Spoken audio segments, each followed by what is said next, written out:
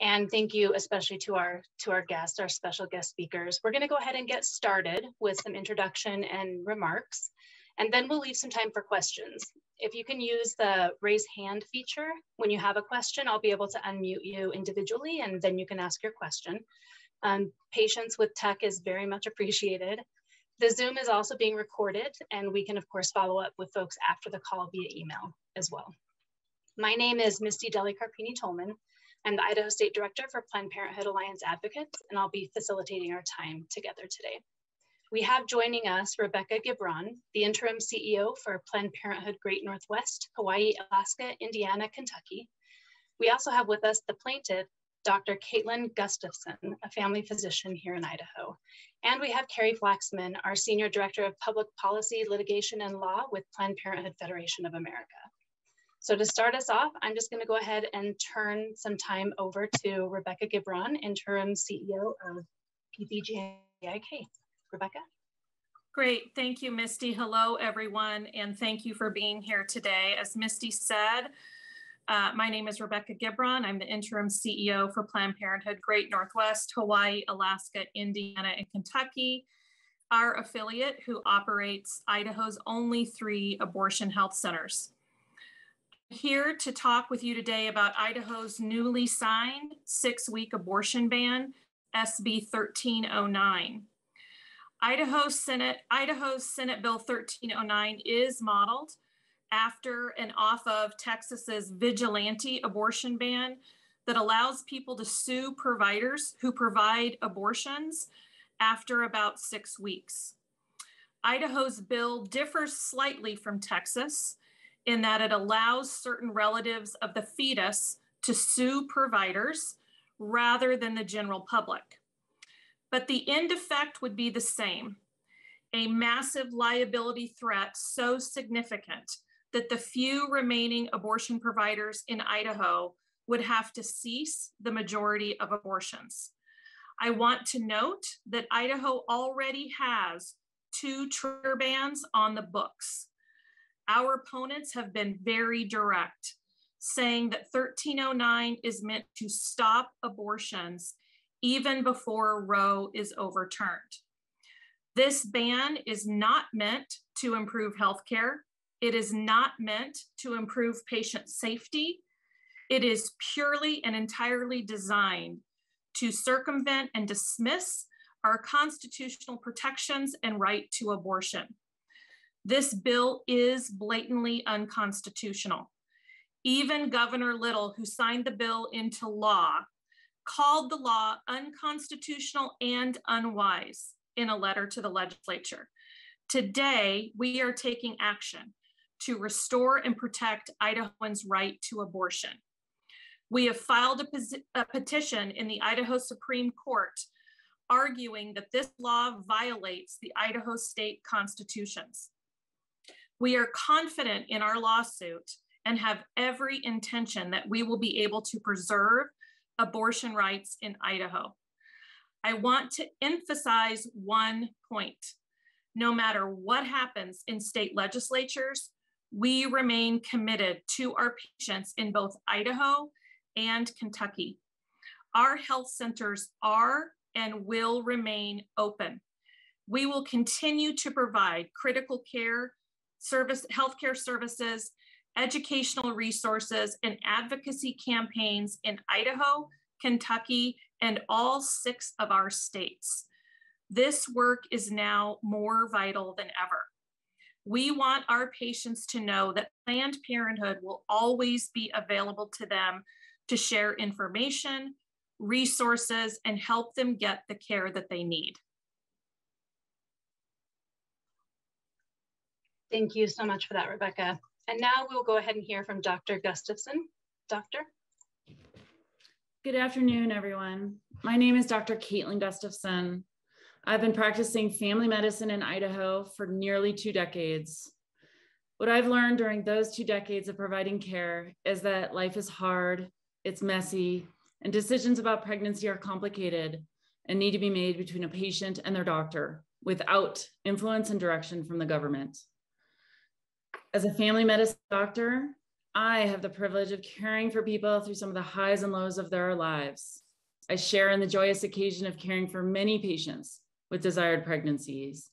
And I'm also there for patients and their loved ones as they contend with pregnancies that are unplanned, unintended, or have unexpected complications where they choose abortion care. These situations are as complex and varied as all of us and as unique as each of our lives. When we face difficult and painful decisions in our health, we turn to our families, our friends, our faith communities, and our physicians. I believe our elected officials shouldn't be involved in making these intimate, personal medical decisions. But Idaho lawmakers see this differently. By passing Senate Bill 1309, Idaho politicians decided to make Idahoans' healthcare decisions for them. They are preventing physicians from providing patients with what is routine medical care. Instead of treating our patients, we'll be sending them to out of state providers. Senate Bill 1309 puts Idahoans' health and futures into the hands of politicians. This is unconscionable and unconstitutional. That's why I've joined today's lawsuit to protect the patient doctor relationship and access to standard medical care in Idaho. Thank you very much. Thank you, Dr. Gustafson. We appreciate you taking the time out of your day to um, spend it here with us. And I know that you need to jump off the call and go attend to your patients. So um, feel free to do that when you need to. And again, thank you for being here with us. Um, now we'll go ahead and open up some time for questions uh, with Rebecca and Carrie. Again, if you could use the raise hand feature, I'll be able to um, select you individually and unmute you. Uh, I see a hand raised from Tierney. You should be able to talk. Hi, can you hear me? Yep. Oh, hi. Thanks for uh, doing the call. Um, for those of us who have been following the litigation around the Texas abortion ban pretty closely, can you explain to us how the petition you're filing against the Idaho law is different and why you're perhaps hopeful that this legal uh, fight will be more successful than what we've seen against the Texas law? I'd be happy to answer that. Um, uh, you know, as um, we filed, as, you, as you've seen, a petition in the Idaho Supreme Court um, uh, seeking to block the law for violating the Idaho Constitution in many, many respects. Um, and um, like the Attorney General's office has already recognized, um, Idaho law is very, very different than Texas's with respect to being able to sue the state. Under Idaho law, it is very clear that people whose constitutionally right, constitutional rights are violated, as are um, Planned Parenthood and Dr. Gustafson, and in particular um, our patients, can go um, to court and, and sue the state. There is no sovereign immunity, to use the legal term, against, against suit in the Idaho courts. That's what the, um, the Attorney General's office already recognized in the letter to the legislature and um, is what you know really makes a difference here in terms of our ability to go to court and, um, and seek for the law to be blocked. Great, thank you so much, Carrie. Um, Sarah, I see that you have a question. Um, I can you hear me okay? Yep. Yeah, I had fundamentally the same question. I wonder if you could elaborate just a little bit more on what those differences are. And I mean, just do you expect, based on your knowledge of the Idaho State Supreme Court, can you predict all what they might say? Well, what I what I can say is is you know what what is in our petition, um, which um, you know will dictate what's before the court. Plainly, SB 1309 violates the Idaho Constitution in multiple multiple respects. It was passed specifically to evade judicial review um, and um, a, allow this law, um, unconstitutional law, under decades of precedent to take effect And in doing that, the legislature set up um, a system that violates multiple provisions of the Idaho Constitution. You know, it violates the separation of powers um, limits in the Constitution by taking authority to enforce the law away from the executive, away from prosecutors. This is not the way laws are supposed to be enforced. It's not the way our system works. The Idaho Constitution precludes the legislature from doing that. It also violates um, equal protection rights because it completely changes the rules of litigation um, against abortion providers who can be subject to unlimited damages, um, even if the plaintiff has suffered no injury at all, ruinous um, financial damages. That's contrary to the Equal Protection Clause um, of Idaho Constitution. All of this was laid out by the Attorney General's office in, in before the legislature passed it. And, and so, um, you know, in addition, obviously, to the, the constitutional violation of, of passing a six week ban on abortion, abortion months before viability in contravention of precedent, the system that they created to do that um, completely upends the way law is supposed to work in unprecedented ways um, and ones that violate um, many, many provisions of the Idaho Constitution. And so we're, we're confident um, in our claims and look forward to um, getting our day in court. Yeah, and Carrie, this is Rebecca. I would just add to that that you know the constitutional violations in the law are so glaring, you know that again, Governor Little described the law as unconstitutional and unwise um, in his letter to the legislature, notifying them that nonetheless he signed it.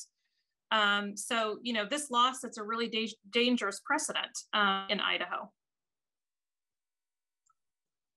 Yes, thank you, Rebecca and Carrie. And looks like we have a question from Folly. should be unmuted now. Thanks for doing this. And forgive me if this is the wrong space, but since we're here, I wanted to also just quickly ask I know, I'm sure you all saw Kentucky moving forward as well with HB3 yesterday. And I know in the past we've heard about the implications that bill could have for provision of abortion care in that state. I'm curious, sort of, how you're looking at that bill, what your concerns are about whether you'll be able to continue providing care if that bill does in fact become law. Yeah, I, you know, we're um, the the law in Kentucky just got passed yesterday. Um, we are right now looking at um, our potential legal challenges in the state of Kentucky. Um, it is a full ban on abortion. Um, so what it differs from in, you know, from Idaho, Idaho's is a six week ban, Kentucky's is a full ban. Um, and what that means is if we are unable to successfully challenge this um, in, in the court system in Kentucky, um, we will uh, be unable to comply with the law because it is a total ban and we will not be able to provide abortion care. Um, we do plan to seek, uh, you know, to pursue a legal challenge um, in the state of Kentucky um, as well. So we are working um, on that as we speak. Thank you, Rebecca. Think, oh, yeah, yeah, and I think, you know, the, the reality is that Kentucky would go completely dark. There are two abortion providers in the state of Kentucky. We are one of them.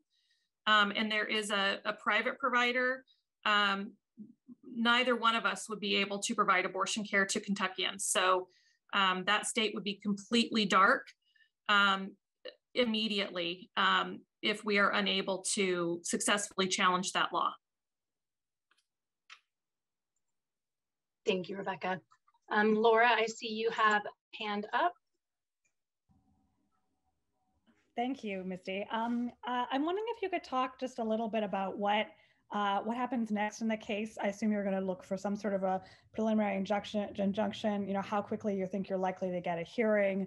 Um, do you think you'll be able to kind of get something before the law goes into effect in a few weeks? Um, yeah, I'm just wondering if you could talk a little bit about next steps. Uh, sure. Um, we have filed, um, you know, our petition is to the Idaho Supreme Court um, seeking a declaratory judgment that the law is unlawful and a, a, a writ directing the courts that they um, to, you know, cannot enforce the, the law. And we're seeking that from the Idaho Supreme Court prior to April 22nd, 22nd when it will take effect without an order from them. Um, we have, with the petition and the brief, filed a motion to expedite the proceedings so that, you know, presumably the next step is a response from the Attorney General. Um, and we've also asked for oral argument in April.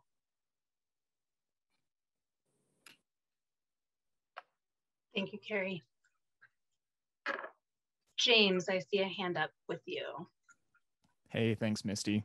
Um, so, Rebecca, you said that Planned Parenthood is uh, going to help its patients regardless of if this does go into April after April 22nd. Um, should that date come and go, I mean, how is Planned Parenthood going to help secure abortion care for Idahoans? Uh, as you pointed out in the brief, very rural state, hundreds of miles from the nearest providers in some cases. Not everyone has a car or lives near a bus station um, or can take time off work, like you said. Um, and I've seen more grassroots uh, abortion funds criticizing Planned Parenthood for um, maybe just giving a discount to people who are seeking abortions and not covering um, travel or hotel expenses. Yeah, thanks for that question, James. So, so barriers to accessing abortion and other healthcare um, services have always existed in Idaho. Uh, you know, as you note, challenges in finding uh, childcare, taking time off of work, navigating the costs of transportation and lodging. You know, all of these things associated with already many Idahoans having to travel hundreds of miles um, to get care is now going to be um, exacerbated by out of state travel um, that will turn in, you know, from hundreds to possibly thousands of miles um, for patients who need to leave their state for an abortion. No one should have to leave their home state or their community to access basic health care. Planned Parenthood has resources available. We are partnering with our um, colleagues and partners in other states. Uh, we are actively now raising money to help support patients to get the care that they need where they need it. So, what I would urge and, and want to, to assure patients is that we are here for you. We will continue to be here for you. And we are working very hard right now to create the financial resources to build those patient access fund resources to help ensure patients can get the care they need and for us to help minimize some of those financial barriers uh, for patients to, to get care out of state. Thanks, Rebecca. Susan, I see a hand up. Hi, um, thanks for the call. I'm not as familiar with uh, legal challenges in state Supreme Courts. Could you explain the universe in which this petition or lawsuit could eventually reach the US Supreme Court? Would it be if um, the state appeals any decision? Or just kind of lay that out for me and others who might be wondering. The state, um, we've only brought state claims in the state Supreme Court. Um, we, we don't have any federal claims. Um, the US Supreme Court does, of course, sit over all of the state and federal courts.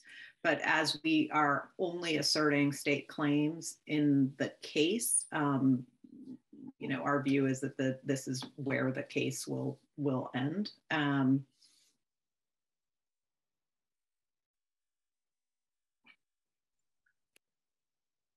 Thank you, Carrie. So far, it looks like we've called on everyone who had a hand raised. Um, so I'll ask again if anybody has any questions, please do use that raise hand feature so that I can unmute you. Misty, this is this is Rebecca. I'd like to add something that sort of um, uh, piggybacks on my on the last question I was asked. Um, I, you know, I want I don't know if you all have seen this, but in recent weeks, we have seen our neighboring states like Oregon and Washington pass legislation to shore up and expand abortion access and funding, which we hope will have an impact in our region. Um, it's still important to note that not every patient will be able to travel. So this, this law is cruel. It is harmful. It will raise maternal mortality rates. We know that abortion bans do that.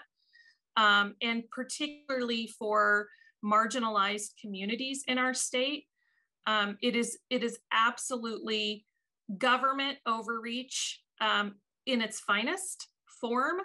Um, the governor signing this this um, bill into law. Thank you, Rebecca. Uh, Nicole, do you have a question? Yes, I do. Can you hear me? Yeah.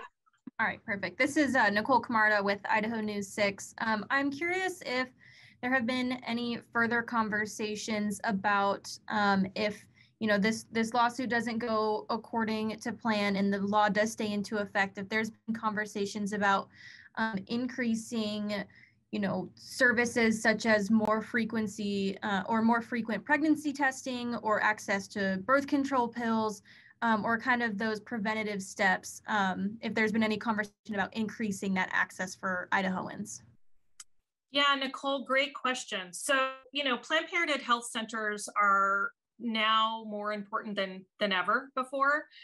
And it, as you know, it will be critical for patients to get to us for birth control visits, reproductive health care, early pregnancy testing, early access abortion care.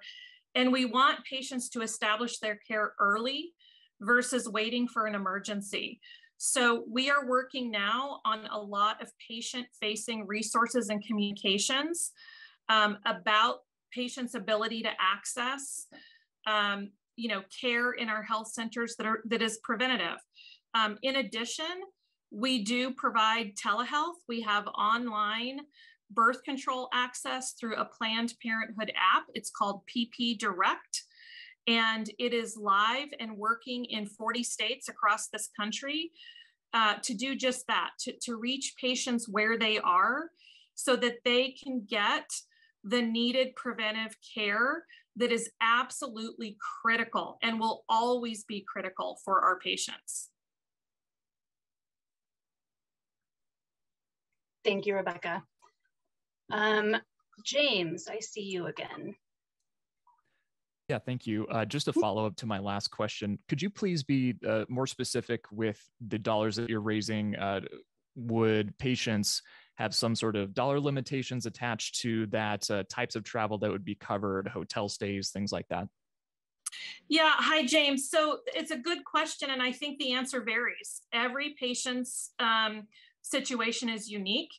And what my job is as the CEO of this organization is to do everything possible to raise funds uh, to prevent those barriers for patients. So we have not talked about anything related to caps on support. We're, we're just, we're laser focused right now on helping our patients um, access the care that they need. So um, I, I want to ensure and do everything we can to remove every possible financial barrier for our patients who um, are, are, going to need to travel out of state if they're um, past that six week mark. Yeah, thank you for that, Rebecca, and for that question, James. Um, I also want to piggyback a little bit on the question that Nicole asked. I do think that it um, is worth noting that this legislature that passed Senate Bill 1309 on the very day that they passed it out of the House, they killed a bill that would have expanded access to birth control here in the state. So we've been working long and hard to expand access to early care, to preventive care, to things like birth control. And I think it really highlights um, the motivation behind bills like this to see that they are unwilling to pass legislation that would expand access. Um, I'm not seeing any other hands. I'll give everybody a minute to make sure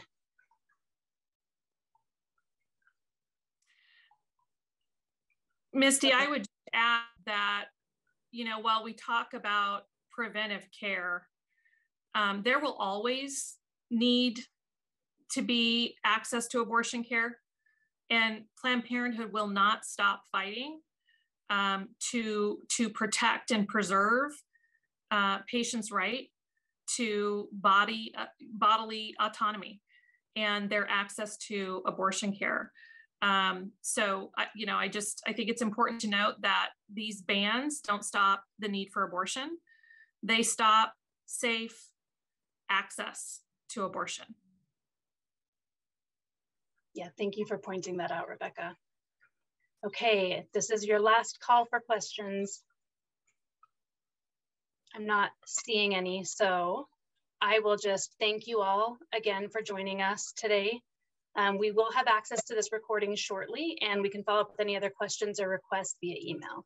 So thank you to Rebecca and to Carrie and to all of you for joining. Thank you.